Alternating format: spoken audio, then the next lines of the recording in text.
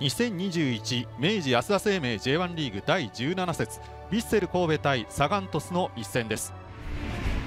エルアルドとイニエスタともにキャプテンマークを巻いてこのピッチに入りました。まずホーム神戸のスタートと予想フォーメーションです。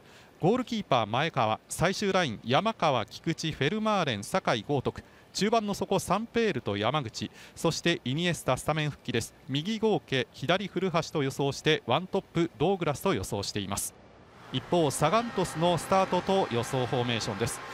ゴールキーパーパク・イルギュ最終ラインファン・ソッコエルアルド大畑。そして中盤の底松岡。右に飯野左中野義弘さらに先頭樋口ときてツートップ林と酒井則義。酒井則義は酒井豪徳との兄弟対決は初めてということになります。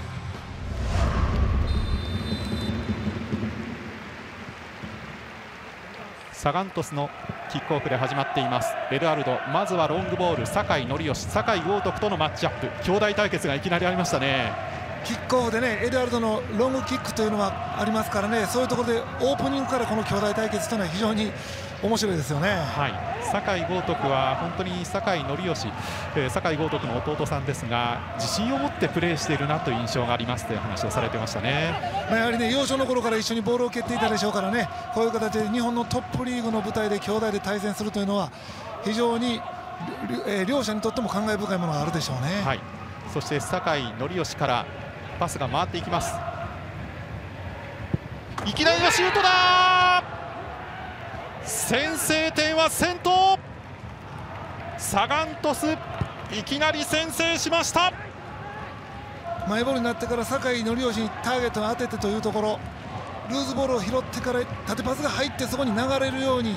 そしてボールを横パス入ってからクロスオーバーした先頭の綺麗なシュートでしたからね相手の神戸の最終ラインが揃う前に一気に仕掛けたという素晴らしいゴールだったと思います。E の中野義弘というウイングハーフの選手たちが内側にポジションを取って最後、先頭が仕留めました神戸は立ち上がり山口がこういう形で下がって外側でもらおうとしていますよね。はいこれはある種鳥栖の守備に対応したポジション取りなのかもしれませんね、えー、そして合計前を向いている。シュートは打たせなかったここでシュートだ。枠は外れました。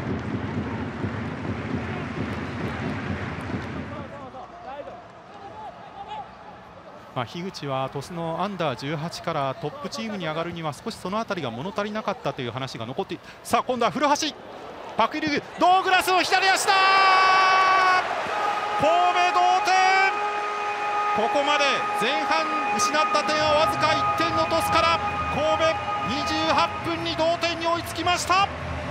このショートパスをしながら古橋の背後を取るというところ神戸のストロングポイントの一つですけれどもボールがずれたんですけれどもこの古橋のスピードに対してパク・イルギが対応できなかったことでこぼれ球が発生しましたからね。そこに対してドーグラスがしっかりサポートいってたというところでゴールが生まれましたね。はい。酒井豪徳古橋。ドーグラス酒井豪徳イニエスタ。浮き球を使ったヘッドだ!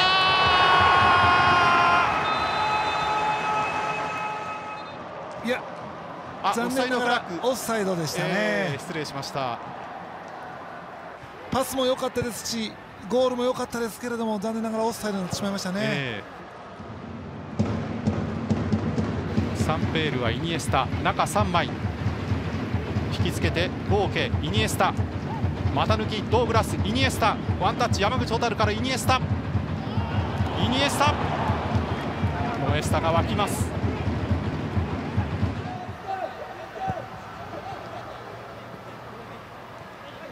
こぼれ球。中3枚待っています。ヘッドだポスト！まだある！コーナーに変わります。ハイボールを蹴ってきたファーサイドファンソッコ折り返す。古橋かわしていく！前を向いた！スピードを生かしていく！小山津も追う！古橋古橋左足のシュート！パク・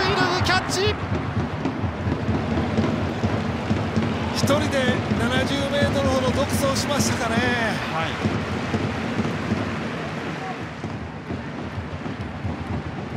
マシカに出します。いいコントロール。グランド。菊池だ。パク・イルギュー佐々木から古橋。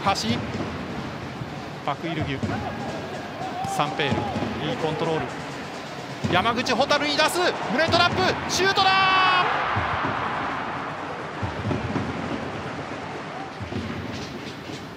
先頭中野真也佐々木がつく。もう一度先頭に戻します。ここでホイッスルです。最後まで集中力を切らさずに続けた両チームの対戦は1対1引き分けに終わっています。